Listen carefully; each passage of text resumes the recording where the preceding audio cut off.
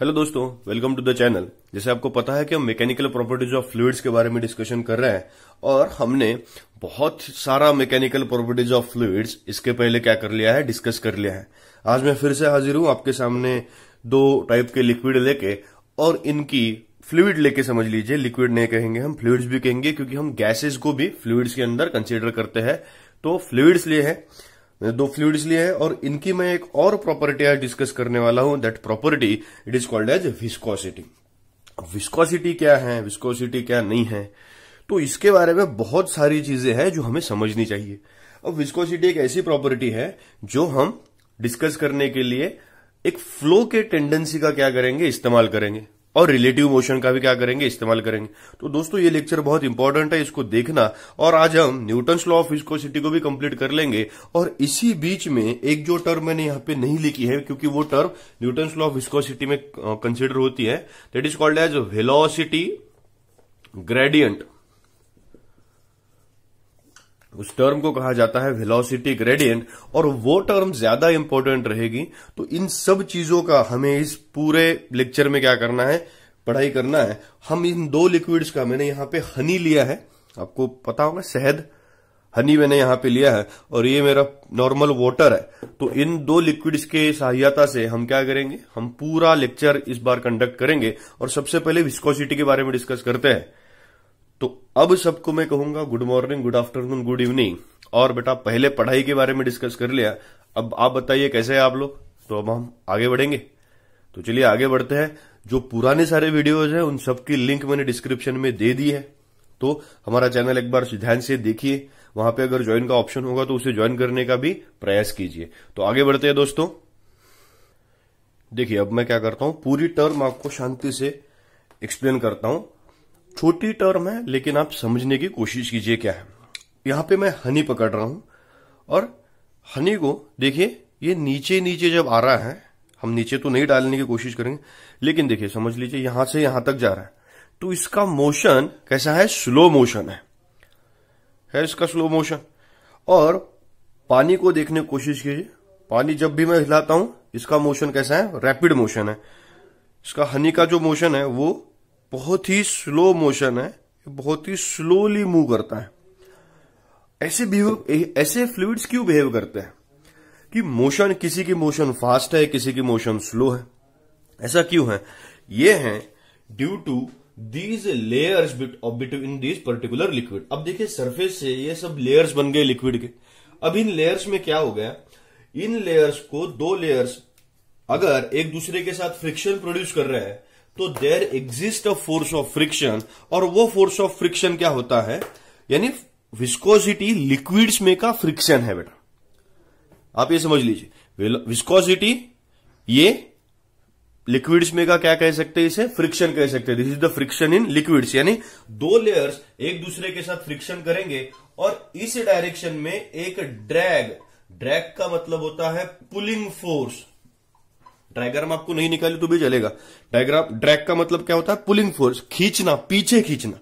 अब क्या होता है? जब वाटर सरफेस है वाटर के तीन चार हमारे पास लेयर रहते हैं तो वाटर में ये ड्रैगिंग फोर्स कम प्रोड्यूस होता है।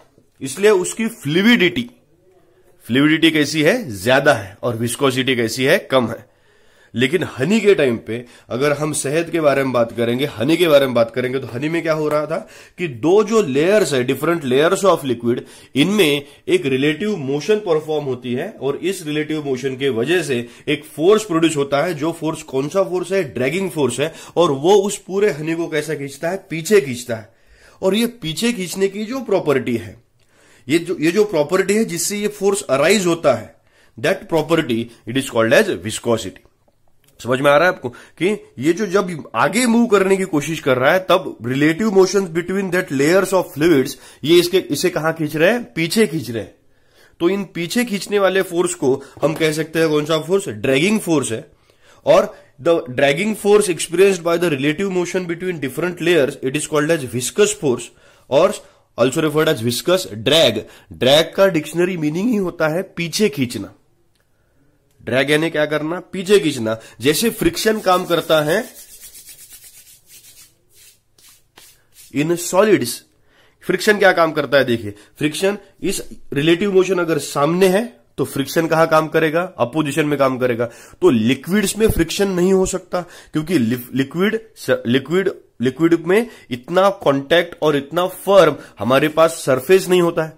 तो फ्रिक्शन जो काम सॉलिड्स में करता है, वही काम विस्कोसिटी नाम की प्रॉपर्टी कहाँ पे करती है? लिक्विड्स में करती है। यानी जो आपके दिमाग में है friction is against the motion तो विस्कोसिटी भी बेटा, कैसी है? Against the motion The quantity of viscosity is also against the motion. The property of fluid by virtue of which the relative motion between different layers of fluid experience a dragging force. ये ये definition text book के हिसाब से लिखी है इसलिए थोड़ी सी twisted definition लिखी हुई मिलती है कि ऐसी प्रॉपर्टी है विस्कोसिटी जिसके वजह से क्या होता है relative motion between different layers of fluid experience dragging force in layers को कौन सा फोर्स एक्सपीरियंस होता है? एक ड्रैगिंग फोर्स एक्सपीरियंस होता है जो पीछे की तरफ़ इसे खींचता है। और पीछे की तरफ़ अगर ये खींचेगा तो उस फोर्स को कहा कौन सा फोर्स जाएगा? विस्कस ड्रैग कहेंगे, जैसे हनी इसमें फ्लूडिटी देखिए, मैं अभी गिरा के ही दिखाता हूँ। एक मिनट में हाथ के ऊपर मैं गिरा के दिखाऊँगा। देखिए, नीचे जा रहा है। तो इसकी फ्लूडिटी कैसी है? कम है। देखिए, हमारे हाथ से एक बार मैं फिर से गिराऊँगा नीचे। देखिए, इसका फ्लो कैसा है? कम है। क्यों?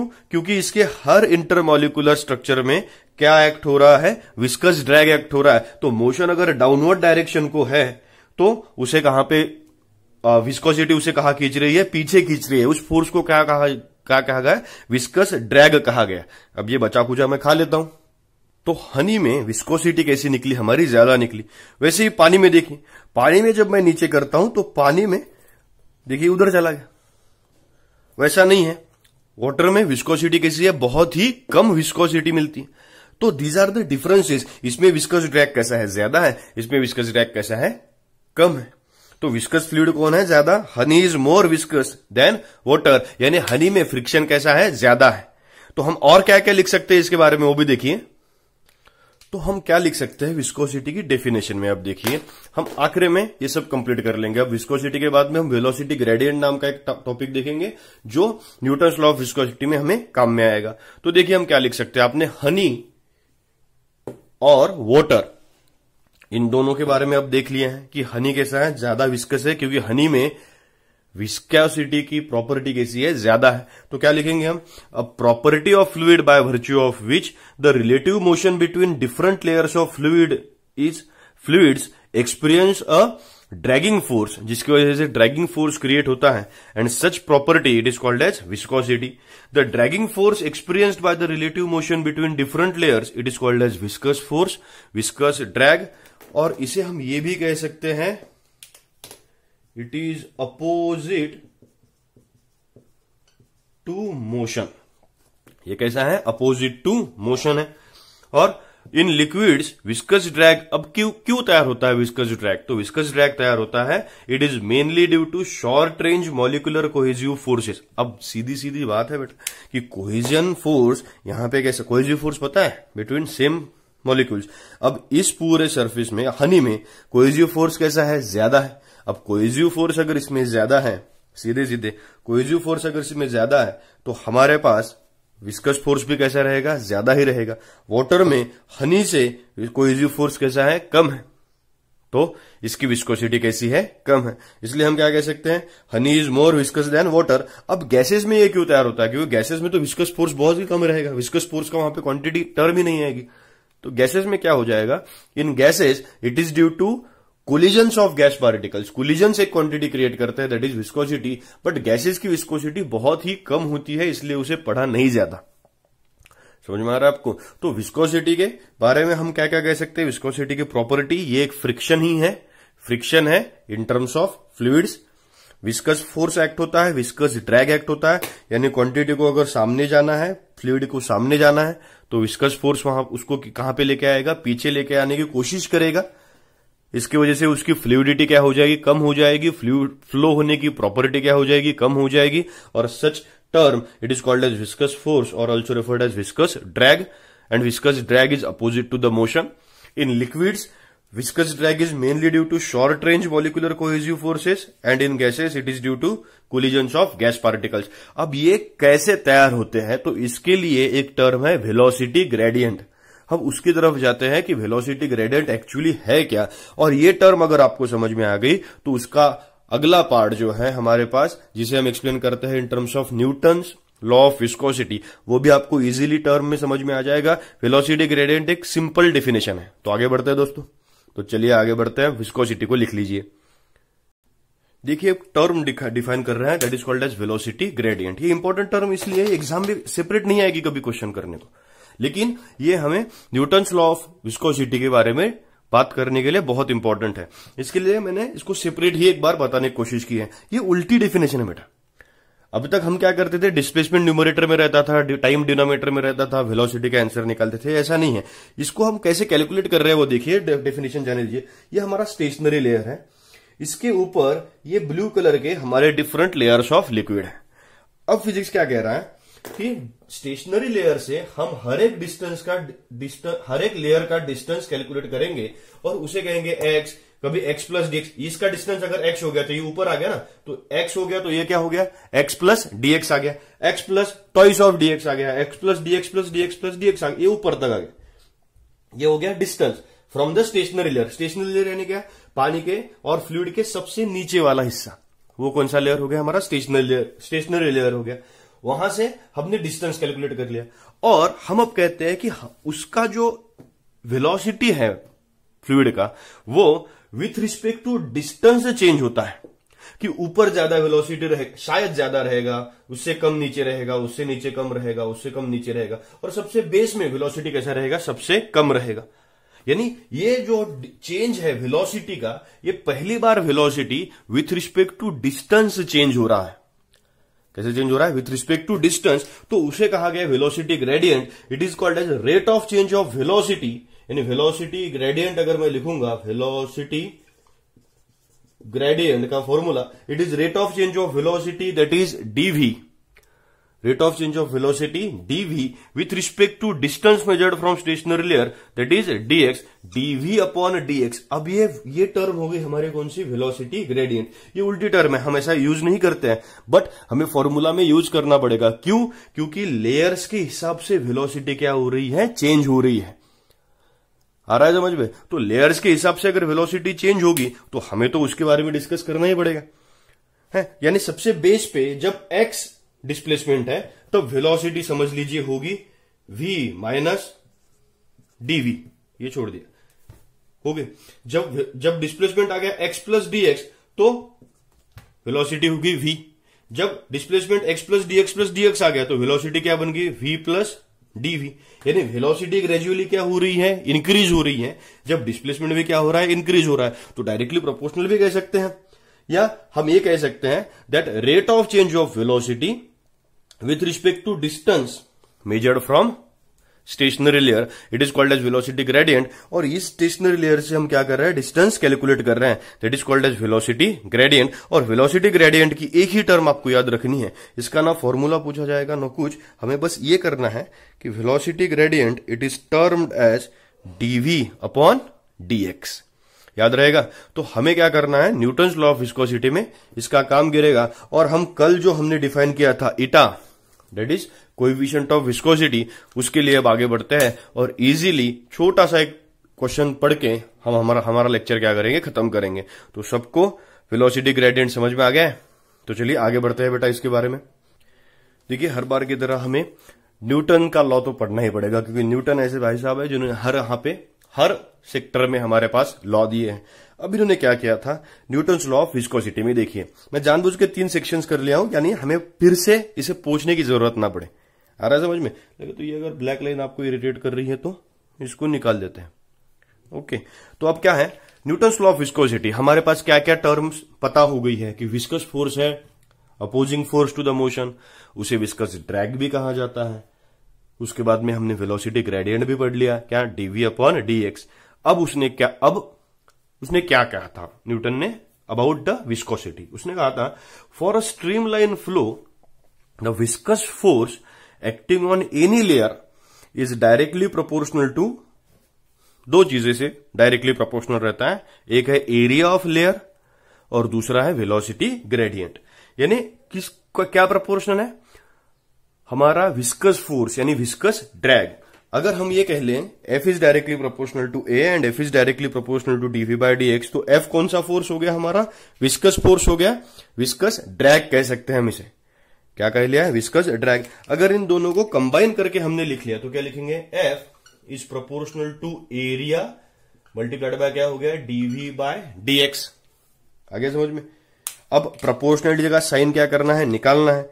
तो क्या इंट्रोड्यूस करेंगे? एक कांस्टेंट इंट्रोड्यूस करेंगे। और वो जो कांस्टेंट हम यहाँ पे निकालते हैं F is equals to area d v by d x और हमें यहाँ पे कांस्टेंट लिखना पड़ेगा, जो कांस्टेंट हम लिखेंगे बेटा ईटा और ये जो कांस्टेंट हमारे पास आ गया दिस कांस्टेंट और this formula it is called as Newton law of viscosity और ये जो फॉर्मूला लिखा हमने ईटा का, ये हो गया हमारा कोइफिशिएंट ऑफ़ विस्कोसिटी ये हमारा क्या है? कोइफिशिएंट ऑफ़ विस्कोसिटी और ये किस पे डिपेंडेंट है? कोइफिशिएंट ऑफ़ विस्कोसिटी कहाँ पे डिपेंडेंट है? It is depending on the nature of fluid क्योंकि फोर्स कितना एक्ट हो रहा है, ये सब यहाँ पे क्या हो जाएगा? कैलकुलेट हो जाएगा। और एन का तो ईटा का तो फॉर्मूला भी निकाल सकते हैं। आप एन भी कह सकते हैं इसे, क्योंकि वो कांस्टेंट टर्म है। हम इसका फॉर्मूला भी निकाल सकते हैं। क्या फॉर्मूला बन जाएगा? एफ़ इधर ही रहेगा। एफ़ मल्टीप्लाइड बाय क्या? D x upon d v हो गया? अपॉन यहाँ पे क्या आ गया? एरिया एरिया डिनोमीटर में गया डीएक्स अपॉन क्या हो गया? डीवी आ गया। तो आपको होमवर्क इसका है, बस यहाँ से आपको क्या निकालना है? यूनिट निकालना है। यूनिट में निकाल के देता हूँ। देखिए, क्या होता है? फोर्स का यूनिट क्या आ गया? न्यूटन डीएक्स यूनिट क्या आ गया? मीटर अपॉन डीवी यूनिट क्या आ गया? मीटर पर सेकंड आ गया? और एरिया का यूनिट क्या आ गया हमारे पास? एरिया यानी मीटर स्क्वायर मीटर मीटर क्या हो गया बेटा? कैंसल यानी मीटर इंटू मीटर क्या हुआ? यहाँ पे मीटर स्क्वायर यानी newton second per metre square unit समझ में आ गया आपको? ये क्या निकाला था? Newton second per metre square हम इसे सामने से लिखेंगे ऊपर that unit is equals to newton second per metre square और इसे नाम होता है डेका पॉइज। क्या नाम है इसका? डेका पॉइज नाम इसका होता है कि जिसे हम कह सकते हैं newton second per metre square. किसका कोई किसका है ये? कोइफिशिएंट ऑफ़ विस्कोसिटी का। इसको एक बार डिफाइन भी कर लेते हैं।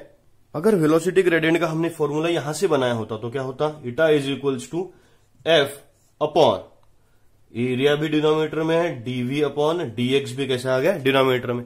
तो डेफिनेशन क्या होती थी? Coefficient of viscosity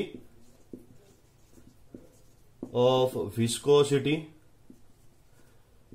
is viscous force again viscous force per unit area per unit velocity gradient it is called as coefficient of viscosity आ गया समझ में तो कोइफिशिएंट ऑफ़ विस्कोसिटी हमारे लिए क्या आया था? कि it is coefficient of viscosity is F upon A d v upon d x that is viscous force per unit area per unit velocity gradient तो ये हो गया हमारा Newton law of viscosity. Viscosity की पूरी टर्म ही हमने आज खत्म कर दी। छोटी टर्म है, लेकिन इंपॉर्टेंट टर्म होती है, जिसमें हमने डिफाइन किया विस्कस फोर्स क्या है वेलोसिटी ग्रेडियंट क्या है, और न्यूटन साहब का लॉ भी एक्सप्लेन कर दिया that is called as Newton law of viscosity. समझ में आया बेटा? तो इसे लिखिए, मुझे भेजिए। चैनल को लाइक कीजिए, शेयर कीजिए, सब्सक्राइब कीजिए। और बेटा, पढ़ते रहिए, क्योंकि पढ़ने से ही हम सबके प्रॉब्लम्स क्या हो सकते हैं सॉल्व हो सकते हैं। तो पढ़ते रहिए, हम क्या करेंगे? पढ़ाते रहेंगे। Thank you